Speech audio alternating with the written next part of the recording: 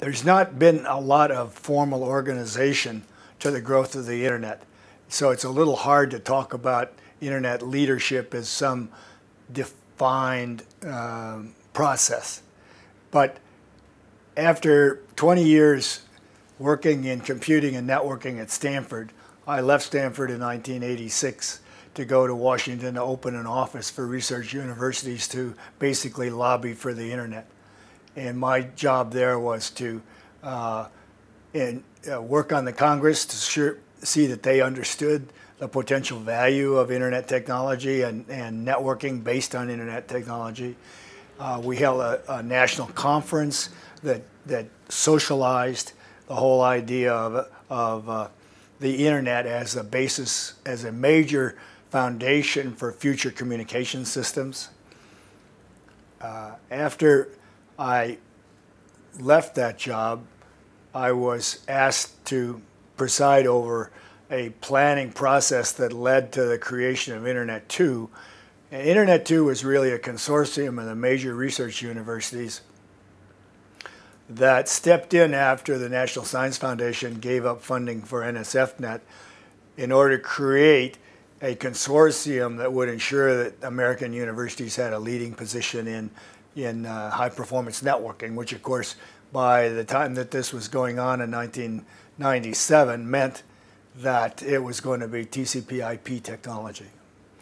And when I was finished with that, I was somewhat coincidentally asked to become involved with the planning for ICANN. In other words, ICANN really grew out of a desire by the executive branch uh, and the Clinton administration to privatize the various research, uh, the various internet administrative activities that research agencies had been doing that really didn't belong there as the internet grew. So the, what the privatization process did was gather up a half a dozen different functions.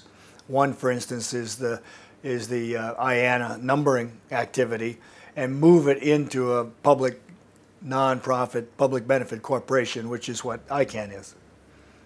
And since then, I've been a retired, semi-retired consultant, like a lot of internet people. There was a very tense period between 1984 and 1988 when the telecommunications companies were aggressively trying to uh, promote uh, their own view of where high performance networking technology should go. And that view was uh, founded in a top-down command, command, and control engineering uh, model. Uh, those of us who were in the research universities who felt very strongly that the end-to-end uh, uh, loosely connected internet technology was the way to go in order to build a more robust and scalable system really had to fight very hard. So when uh, the federal government decided in 1988, 1989 to uh, require federal agencies to use TCP IP, and then the budget office put some money into supporting, uh, you know, into federal support for internet technology. That was really turned the tide because it, it gave what had been a university activity public credibility. You know, with, with the federal government and all its might and all its agencies and all its uh, thousands and thousands of millions of, of computers and networking and so on going to use TCP IP technology, that couldn't be ignored. And people in Wall Street, for instance, who were inclined to believe the telephone companies' story on all of this. I mean, after all, these were places like Bell Labs that were claiming that internet technology would never work. I mean, they were they were very upfront saying, "Well, this won't work. It won't scale." That's they were still behaving like that as late as 1985 and 1986. So Wall Street, you know, looking at a bunch of academics versus a bunch of uh, multi-billion, hundred, multi-hundred billion dollar uh, uh, telephone company executives and engineers and so forth, uh, you know, they were they were over on the telco side. So when the federal government uh, took a deep breath and went our way, that was that was very much of a pivotal moment. The some people will tell you, well, it, it wasn't until uh, President Bush signed the High Performance Computing Act of 1991 that had $500 million a year for internet technology that that, that really was cast a die. But in fact, uh, all the decision process for that really culminated in 1988 and 1989. Also, I think you ought to, we ought, we all ought to, we all owe a debt uh, to the people at Michigan and IBM who partnered with the National Science Foundation to do NSFNet in 1987.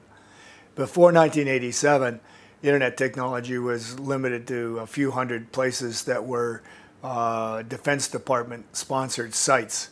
And it was hard to claim that that constituted any general academic use of internet technology. But, but NSFNet went from 100 campuses in 1988 to 1,000 connected uh, campuses in less than three years.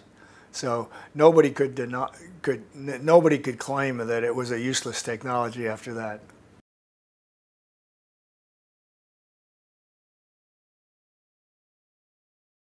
The growth of the internet, like all phenomenon, has limiting factors.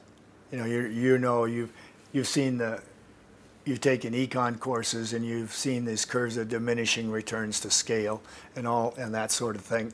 So one of the questions appropriate questions about whether things are stormy or not is, well, as we look at the evolution of the internet over the next five or 10 years, what are the things that are going to help it grow in a constructive, useful way, and what are the things that are going to inhibit that growth? I think on balance today, uh, we are still in a very uh, uh, positive environment uh, for growth. Uh, the the frontiers of the underlying technology are still being pushed very successfully. We, in other words, we haven't run out of the ability to continue uh, exponential growth rates, uh, particularly with the, the uh, evolution, with the arrival of uh, smartphone technology and very shortly wearables and implantables and, and, and the Internet of Things. All of those are, have terrific multiplication factors in them and so, you know, one of, one of the questions you obviously have to answer is, well, what is the desirable limit for the internet?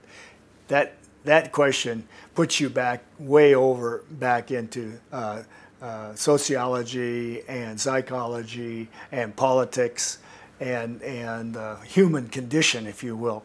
Uh, we aren't anywhere close to saturation, but I would say that uh, we are in a period where we're running the, obst- the, the principal obstacles that the internet is running into today is a difficulty in extending the reach of, of network access to the, the uh, uh, disadvantaged uh, several billion people on the planet. The people who don't have adequate access, don't have a decent lifestyle to begin with, any, any reasonable standard of living, don't have access to education, don't have access to a social fabric that gives them a, a sense of self-esteem and of progress. Uh, so uh, the remedies for that kind of problem are not in just spending more dollars on internet technology. It's a much more complicated question. So those of us who were around at the beginning, you know, there was a meeting in Washington in 1986, and in one room there were about 300 people and about 90% of the intellectual capital of the internet in the United States was in that room. 300 people. Today, they're, you know, we're, we're up into the millions in, in, in terms of that, of that kind of des description. So we uh, are the victims to some extent of our own success because we all know that as organizations get larger, they have a lot of trouble being agile uh, and uh, you've, you've gone through this business yourself of, of coursework on self-renewal. How do, how do corporations that get in trouble survive? Mostly they don't. More often than not, they don't. They, they, they fall by the wayside. You know, look at the railroad industry almost died when, when steam locomotives went away and that, and that sort of thing.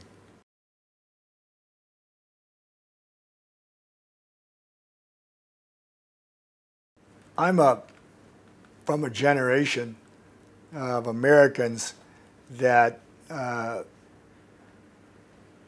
went through college in the 50s and, and, and watched the kids that came after us uh, be so unhappy with the war, with the Vietnam War. But we hung on to our idealism, I think, in a less radical way.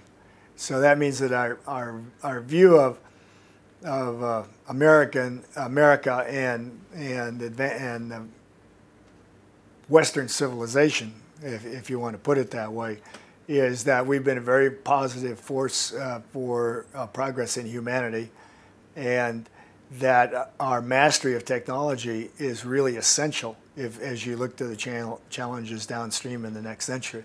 In the, the media likes to hype them all up about, you know, all the all of the coastal plains are going to be inundated the day after tomorrow and all these poor people are going to drown and so on. Well, it's not like that, but it is pretty serious. You know, there are vast areas of coastal plains that are densely populated that are going to be underwater within 50 years. So it's going to, it, it's one of the things that we're not making progress on that it's not clear what the internet can do for is that we have a worldwide employment problem. It's not only true in the United in the developed countries, but it's true even more so in the, in the lesser developed countries. If we can't that's really social dynamite. You know, you have all of these young people, especially young males, who, you know, can't get a job. They can't ask a girl to marry them. They can't go to a girl's father and say that they have a way to support her if, if uh, he'll let him marry her daughter, his daughter. Uh, that's very frustrating. It's dyna absolute dynamite. So, and, and it's a, and it's it's a definite obstacle to social progress if I think you know much of what goes on in the Middle East, which Americans view as just this incredible religious nonsense, is is the the, the underlying problem there is all these young people that can't get a job, don't have any sense of uh, social uh, fulfillment in in their lives, or very little, and and a lot of that is biased by by uh, uh, theocratic uh, control that suggests that somehow or other going to a church or a mosque is going to solve the problem, and it's, and it's obviously not. So, uh, I would I would say that that uh, all of the technology that we're able to harness, in which, in in in an awful lot of that, a large fraction of that, I wouldn't I wouldn't want to say all of it, but like at least three quarters of all the new technological de development in human society in the next 50 years is going to be mediated by internet technology. There's a saying you've probably seen in your courses uh, that uh,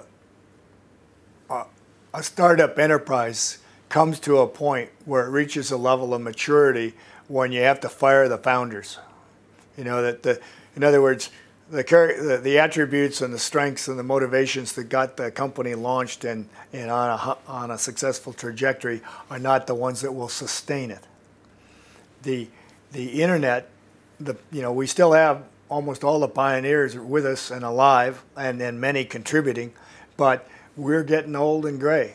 And so I think that the new generation of leaders in the internet, you know, the 30 somethings, the 40 somethings that we have today, their focus is going to be on identifying uh, uh, obst obstacles that are out there, which are much more complicated to deal with than, I mean, we thought in the 70s and 80s we were dealing with very complicated problems. Today's problems are, are more complicated and and require more more intellect, more energy, more motivation.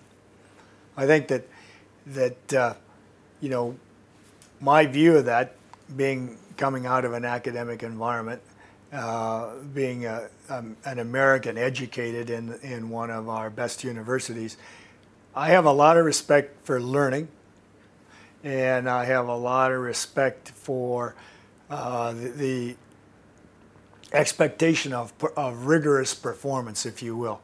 In other words, you've probably had papers come back to you where the professor said, you know, basically you didn't you didn't have this right and you didn't work hard enough on it. So it's really, you know, this is not easy stuff. You, you, uh, you have to be smart, you have to be talented, you have to be motivated, and you have to work hard.